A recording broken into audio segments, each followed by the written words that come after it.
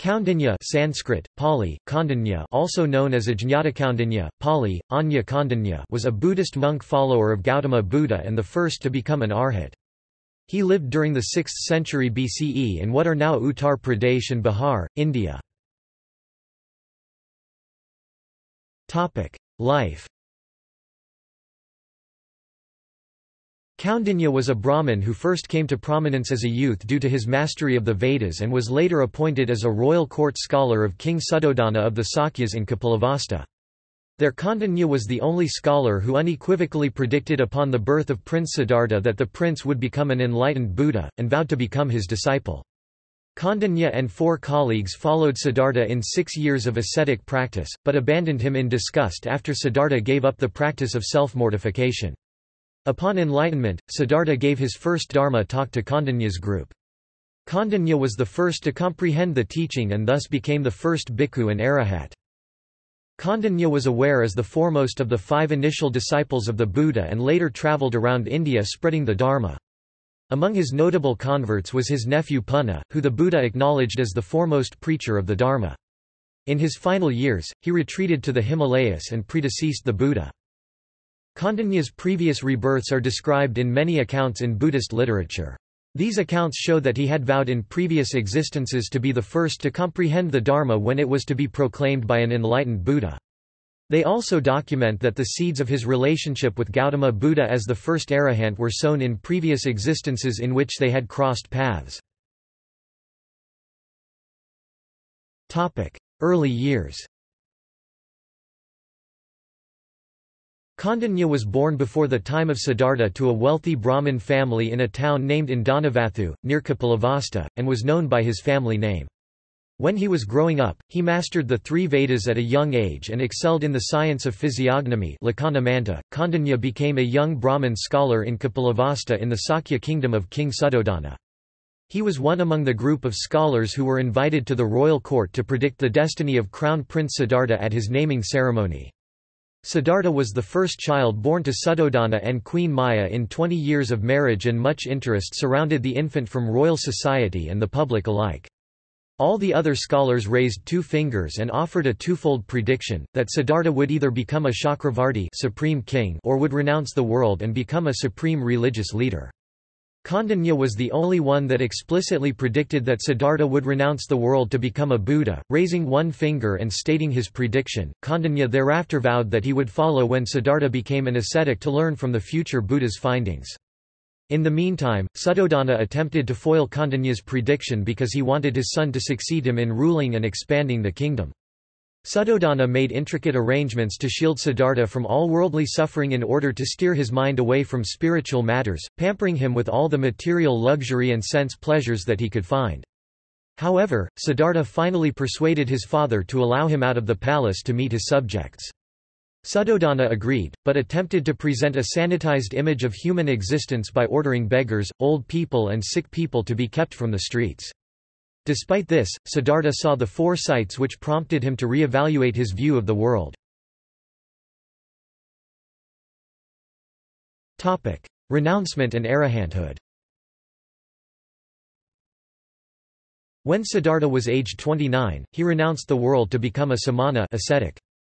Kaundinya, along with Bhaddiya, Vappa, Mahanama and Assaji, variously described as four of the other scholars who had read Siddhartha's future or the sons of those scholars, followed him into the ascetic life, with the approval of Suddhodana, who was worried about Siddhartha's safety.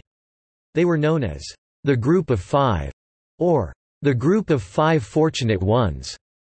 After Siddhartha had mastered all the teachings of Alara Kalama and then Uddaka Ramaputta, he left and began practicing self-mortification along with Kaundinya and his four colleagues at Uruvela. Kaundinya and his colleagues attended to Siddhartha in the hope that he would become enlightened through self-mortification.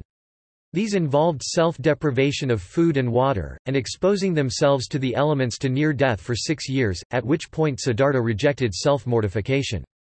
Kaundinya and his colleagues became disillusioned, believing Siddhartha to have become a glutton and moved away to Sarnath near Varanasi to continue their practices. After Siddhartha became the enlightened Gautama Buddha, he sought to find his former teachers Arada Kalama and Udraka Ramaputra in order to teach them. Realizing that they had died, the Buddha decided to find Kaundinya and his colleagues to share his teachings. Kondanya and his companions were skeptical of Gautama Buddha after his abandonment of asceticism, and initially refused to acknowledge his presence, except to offer a seat on the ground. However, the ascetics were soon won over when they sensed that the Buddha had changed since they left him. The Buddha preached the Dhammacakkappavattana Sutta, which deals with the Four Noble Truths and the Noble Eightfold Path, the core pillars of Buddhist teaching regarding the intrinsic suffering of existence and how to deal with it. Kondanya reached the Sotapanna stage of arahathood upon hearing this, becoming the first human to comprehend the teachings. The Buddha acknowledged this by remarking, Anasi vata bho kondano meaning, you have realized, kondana. Five days later, hearing the subsequent Anattalakkhana sutta regarding anatta, Kondanya gained full arahantship. Kondanya thus became first arahat. Having realized arahanthood, he requested the Buddha for permission to retire from the world, which was granted with the words, Ehi bhikkhu. Kondanya thus became the first bhikkhu monk in the Buddha's dispensation, known as the Sangha. Later, the assembly at Jetavana declared him to be the foremost among the first bhikkhus and the disciples of long standing. After Enlightenment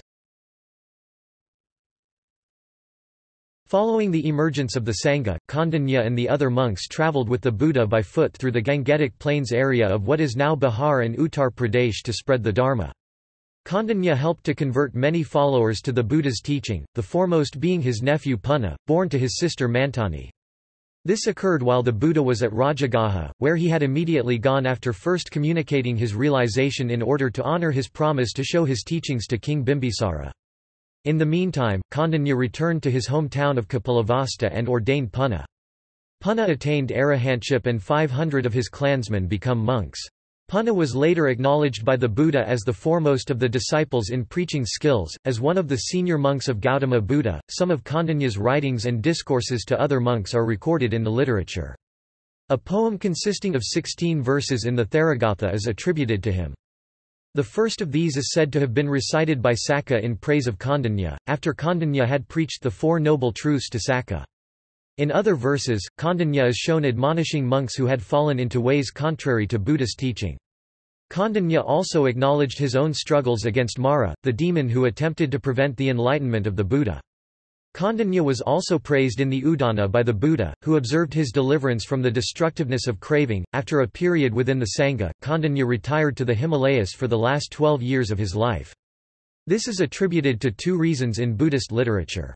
The first reason was that Kondanya considered his presence to be a source of inconvenience for Sariputra and Moggallana, the two chief disciples of the Buddha. As the seniormost member of the Sangha, Kondanya lead the monks on the alms round, but during Dharma talks, the two chief disciples sat on either side of the Buddha and Kondanya behind them. The two chief disciples were uncomfortable sitting in front of Kondanya, so he decided to solve the problem by absenting himself. The other reason to which Kondanya's leave is attributed was to spend more quiet time in religious practice, which was rendered difficult due to the attention that the Sangha gained from the public. According to the Samyutta Nikaya, Kondanya retired to the banks of the Mandakini Lake in the Chadanta forest, said to be the abode of the Paccekabuddhas. It was said that the 8,000 elephants in the forest took turns to catering for his needs. Kondanya only left once, to farewell Gautama Buddha. Kondanya kissed the Buddha's feet and stroked them with his hands. He advised his disciples not to mourn him before returning to the forest to pass away the following morning. He was cremated on a large sandalwood pyre which was constructed with the help of the elephants, and the ceremony was presided over by Anuruddha, one of the ten chief disciples and 500 other monks. The ashes were later taken to Veluvana, where they were enshrined in a silver stupa. Previous and future rebirths In line with the Buddhist doctrine of rebirth, the previous existences of Kondanya are described in Buddhist texts.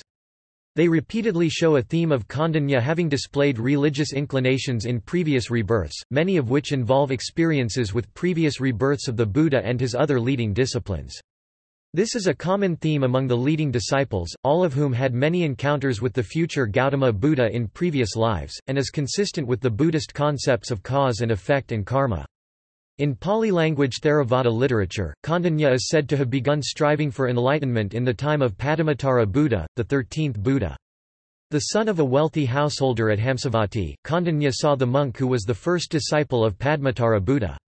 Kaundiny's previous rebirth bestowed on the Buddha and the Sangha and wished that he was to be the first disciple of a future Buddha.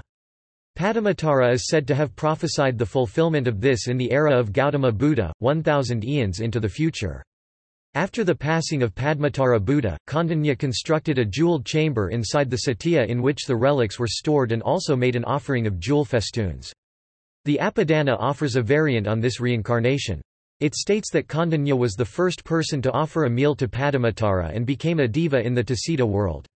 It further says and that during the time of Vipassi Buddha, Kaundinya was a householder named Mahakala who offered the Buddha the first fruits of his field in their nine stages of production. The Mahavastu gives another account explaining the origin of Kaundinya's vow to attain arahanthood in his final rebirth. This account asserts that he was a potter at Rajagaha in a previous existence. A Paccekabuddha who was suffering from biliousness sought shelter in the potter's hut and was cured. In time, several more Paccekabuddhas came to visit the hut to inquire about their colleagues' health status. The potter asked which of them had realized the Dharma first, to which the patient answered in the affirmative. Thereupon the potter made his vow. Despite the differences in the accounts, all of them agree on his words when announcing his vow. By the merit I have acquired by doing this service of attending on you, may I be the first of all to realize the Dharma when proclaimed by an exalted one. May I not crave for gain and honor. May I wish only for a solitary bed and begging bowl. May I lay aside my body among the cascades and forest glades, dying all alone. Numerous previous rebirths in which Kaundinya and Gautama Buddha crossed paths are also noted in Pali literature. The Mahavastu cites a previous birth in which Kaundinya was a seafaring merchant who had lost all his wealth after a mid-ocean shipwreck. Kaundinya then went in search of the king of Kosala, who had a widely known reputation for philanthropy. However, the Kosalan monarch had left his kingdom and surrendered his kingdom to the neighbouring Kasi king. The king of Kosala had done so to avert bloodshed, since the Kasi king had threatened to invade. Nevertheless, the Kasi king wanted to capture the Kosalan king and decreed a large reward for it. The Kosalan king Gautama Buddha in a previous rebirth tied himself and asked the merchant to deliver him to Kasi so that the merchant would no longer be in poverty. However, when the Kasi king heard this, he withdrew his army and restored the Kosalan monarchy. The Kosalan king subsequently bestowed wealth on the merchant. Gautama Buddha cited this occurrence to illustrate how the ties between living beings extended into their previous existences. In another rebirth described in the Mahavastu, Kaundinya and his four colleagues who were to become the first bhikkhus were seafaring merchants under the command of the future Gautama Buddha. The future Buddha sacrificed himself to save them from an ocean death. The Divyavadana describes two further rebirths of Kaundinya. In one he was a bird named Ukangama. In another, he was a tigress and Gautama Buddha another tiger. The future Buddha sacrificed his own life by offering himself as meat to the hungry tigress so that it would not eat its own cubs. The 500 disciples eighth chapter of the Mahayana Lotus Sutra predicts that in the future he will become a Buddha named Universal Brightness.